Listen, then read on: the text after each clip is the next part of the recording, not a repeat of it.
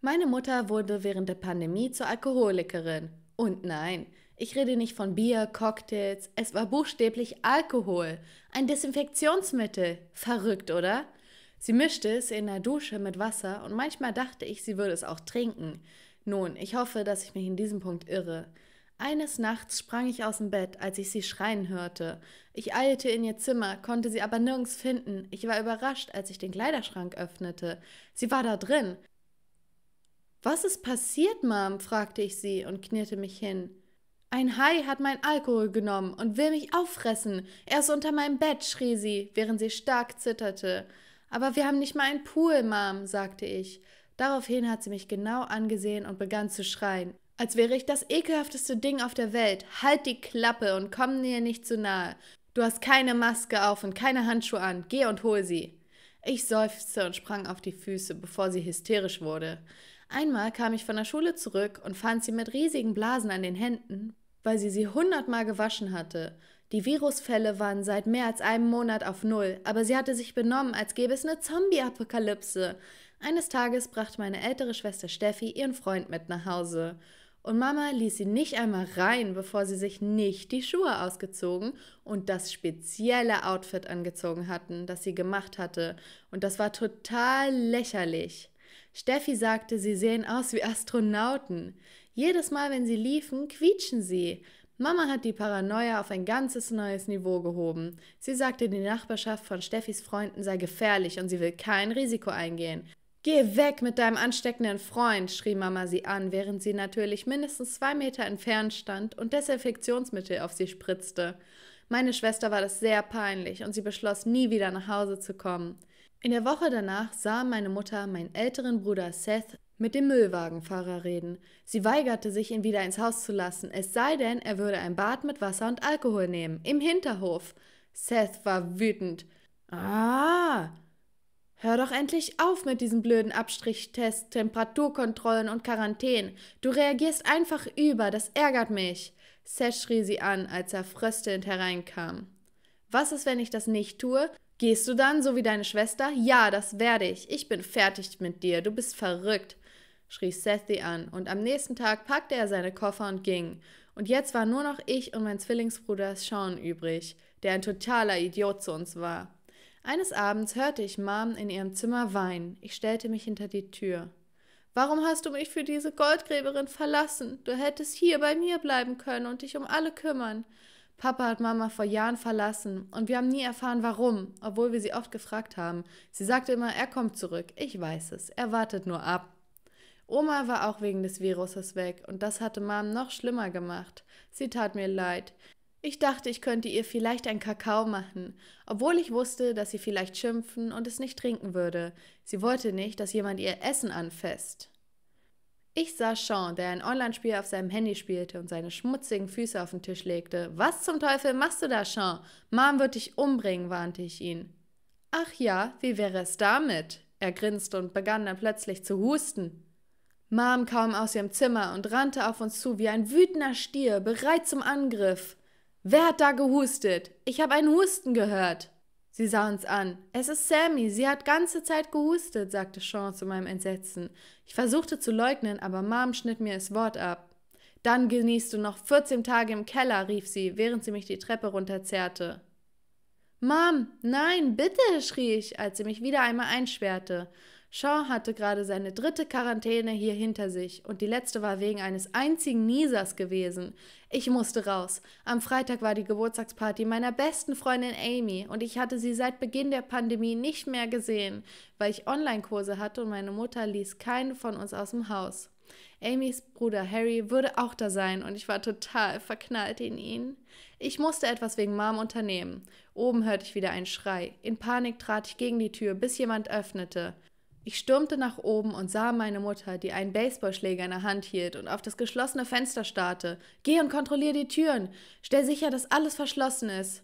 Sean kam rein. Was ist passiert? fragte er. Ein dreckiger Mann in einem Kapuzenpulli hat versucht hereinzukommen.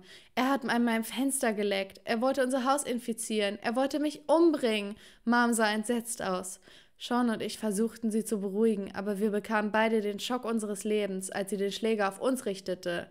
Keine Maske, keine Handschuhe, kein Gesichtsschutz. Zurück, schrie sie. Sean sah mich an und sagte, deine Mom ist offiziell verrückt. Ich bin sicher, du bist so stolz. Ich zerrte ihn aus dem Zimmer und sagte, du bist nur gut darin, dich über Leute lustig zu machen. Das war's. Ich kontaktierte Dad. Er muss was dagegen tun. Klar, nur zu. Frag ihn, ob er dich danach mitnimmt. Ich hab die Nase voll von Mom, sagte Sean frustriert. Sie braucht uns dieses Mal und wir müssen unseren Teil dazu beitragen, sagte ich. Wie auch immer, ich werde die Woche über bei meinem Freund bleiben. Sag Mom, dass der Heim mich gefressen hat, wenn sie mich suchen kommt, sagte er. Wie konnte er das nur der eigenen Mutter antun? Ich wollte gerade den Krankenwagen rufen, als Mom auftauchte. Du, du solltest in der Isolation sein, schrie sie, während sie den Lampenschirm aufhob und drohte nach mir zu werfen. Mom, bitte lass es sein. Ich werde jetzt meine Maske aufsetzen, sagte ich. Sie ließ den Lampenschirm fallen, sobald ich meine Maske aufsetzte. Dann setzte sie sich auf die Couch, die sie in eine spezielle Plastikfolie eingewickelt hatte, und brach in Tränen aus. Es tut mir leid, Sammy, es tut mir so leid. Jetzt heulte sie. Ich besprühte mich erst mit Alkohol, bevor ich mich neben sie setzte. Es ist, als hätte ich eine besondere Sehkraft und ich kann Viren und Keime überall sehen, sogar wenn ich meine Augen schließe. Ihr Weinen wurde lauter, aber es hörte auf, als ich sie umarmen wollte. Am nächsten Tag bestellte ich Eis und Pizza und log, dass ich alles selbst gemacht hatte mit sauberen Zutaten aus dem Kühlschrank. Dann begann ich plötzlich vor ihren Augen unkontrolliert zu husten. Oh nein, das war wahrscheinlich das eiskalte Eis. Mein Herz fing an zu rasen, als meine Mutter wieder in den Verrücktheitsmodus schaltete. Sie schob wütend den Esstisch um und schrie: Dieser dreckige Mann steht hinter dir. Los, dreh dich um! Ich drehte mich um, aber ich konnte einfach niemanden hinter mir sehen. Bist du sicher? fragte ich. Ich schwöre, er war hier und er hat überall hingespuckt. Er will unser Haus mit dem Virus füllen und seinen ekelhaften Speichel, sie schrie, bevor sie nach oben rannte, um sich in ihrem Zimmer zu verstecken. Während ich nach irgendwelchen Anzeichen des schmutzigen Mannes in unserem Haus suchte, sah ich mit Schrecken, dass eins der Fenster in der Küche offen stand. Als ich mich umdrehte, keuchte ich, als ein Mann einen Finger gegen meine Lippen drückte. Er war es, der schmutzige Mann, von dem Mama gesprochen hatte. Er war es wirklich. Ich war kurz davor, in seine Hand zu beißen und zu schreien, aber ich erstarrte in diesem Moment, als er mir sein Gesicht zeigte. Dad? Er zog mich weg und begann zu erklären. Ich habe versucht, mich bei deiner Mutter zu entschuldigen, aber sie schreit immer, wenn ich in die Nähe komme. Ich glaube, sie halluziniert. Deshalb denkt sie, ich will ihr wehtun, sagte mein Dad. Ich konnte nicht glauben, dass er zurück war. Er fuhr fort zu sagen, dass seine Freundin ihn verlassen hatte und er nirgendwo hin konnte. Er bettete mich förmlich an und ich wusste nicht, was ich tun sollte. Ich sagte ihm, dass Mom verrückt geworden sei und er hart arbeiten müsse, um ihr Herz wiederzugewinnen. In den nächsten Tagen öffnete Mom nicht einmal ihre Tür. Sie war in Selbstquarantäne. Schon wieder. Ich ließ Dad eine Zeit lang bei uns wohnen, weil ich seine Hilfe im Umgang mit Mom brauchte. Dann eines Tages war Mom plötzlich verschwunden.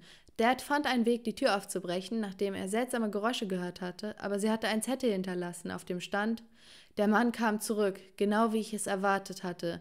Ich sah sogar, wie er sich die Augen rieb, nachdem er die Fernbedienung in die Hand genommen hatte. Ich kann das nicht mehr ertragen. Es tut mir leid, Sammy. Pass auf dich auf. Mami liebt dich, trotz allem. Oh mein Gott, was hatte sie getan?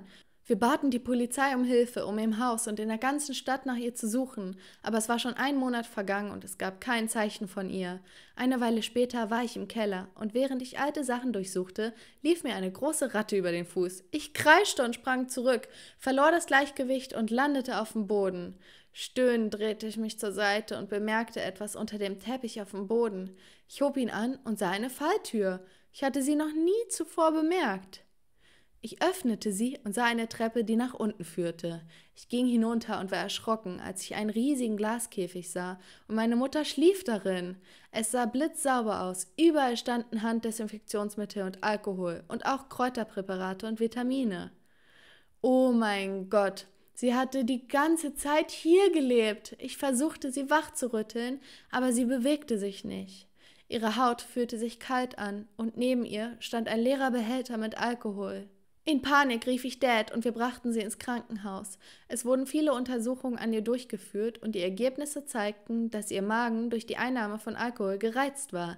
Sie bekam eine Behandlung dagegen und begann sich besser zu fühlen. In der Nacht weckte mich Mama. Sammy, wach auf, der Hai ist wieder da, sagte sie.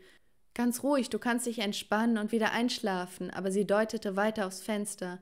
Ich stand auf, um nachzusehen, und war völlig verblüfft, als ich sah, dass ein Haifischschwanz hinter dem Gebäude auf der anderen Straßenseite war. Ich rieb mir die Augen und sah wieder nach, aber es war nicht mehr da.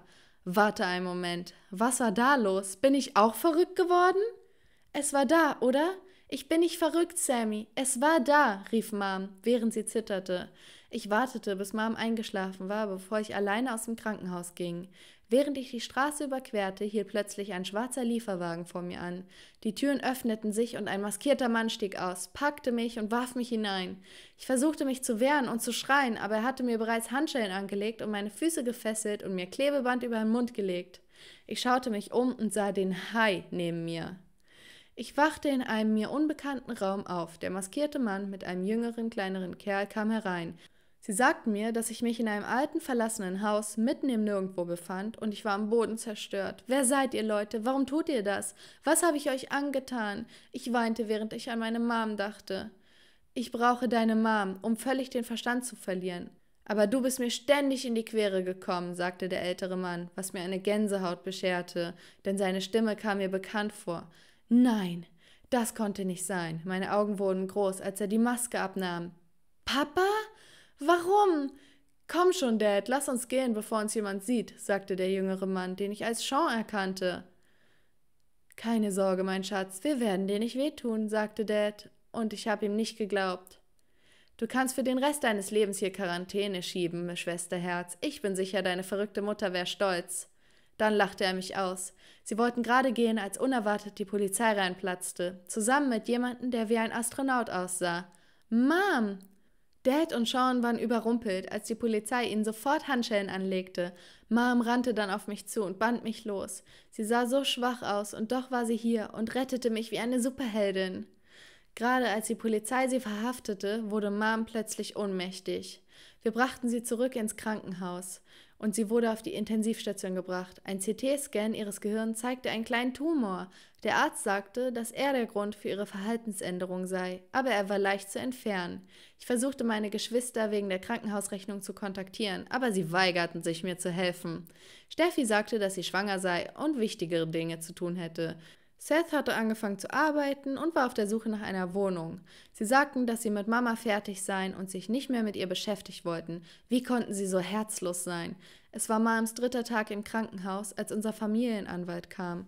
Er sagte, dass Oma ein Testament hinterlassen hätte, in dem stand, dass sie Mom alles geben würde, einschließlich ihrer Villa. Ich wusste es. Er hat nur darauf gewartet, dass deine Oma stirbt, sagte Mom. Und jetzt ergab alles einen Sinn. Dad wollte das ganze Vermögen meiner Mutter für sich selbst. Mom erholte sich nach der Operation vollständig und wir zogen nach einer Woche in die Villa. Dann schlug sie etwas Unerwartetes vor. Warum lädst du nicht Amy und den Rest deiner Freunde morgen Abend hierher ein? Ich werde eine riesige Party schmeißen. Ich zwickte mich, um zu prüfen, ob ich träumte, aber Mom kicherte und versicherte mir, dass sie es ernst meinte. Am nächsten Tag hatten wir unerwarteten Besuch auf der Party. Ich öffnete die Tür und war schockiert, Steffi und Seth zu sehen, die die speziellen Outfits trugen, die Mom gemacht hat. Was macht ihr denn hier? Und warum habt ihr die an? Ich dachte, ihr habt gesagt, es sieht so lächerlich aus. Wo ist Mom? Wir vermissen sie, sagte Steffi. Wir wollten uns nur entschuldigen. Uns ist klar geworden, dass sie uns nur vor dem Virus schützen wollte, erklärte Seth. Ich war sprachlos. Mom hörte unsere Stimmen und kam runter. Meine Geschwister taten so, als wären sie froh, sie wiederzusehen. Wir haben Geschenke für dich, Mom. Seth gab ihr ungefähr zehn Papiertüten gefüllt mit Alkoholflaschen, Desinfektionsmitteln, Gesichtsmasken, Handschuhe, Vitamin und einer Menge Obst. Mom hat nichts gesagt. Sie schnappte sich die Tüten und warf sie weg, als wären sie das ekelhafteste, was sie je angefasst hatte. Ich brauch sie nicht mehr, stimmt's, Sammy? Sie drehte sich zu mir um und ich nickte. Seth und Steffi bestanden darauf, ins Haus zu kommen, aber Mom schlug ihnen die Tür zu. Jetzt lass uns zur Party gehen, sagte Mom, und ich lächelte aufgeregt. Haha.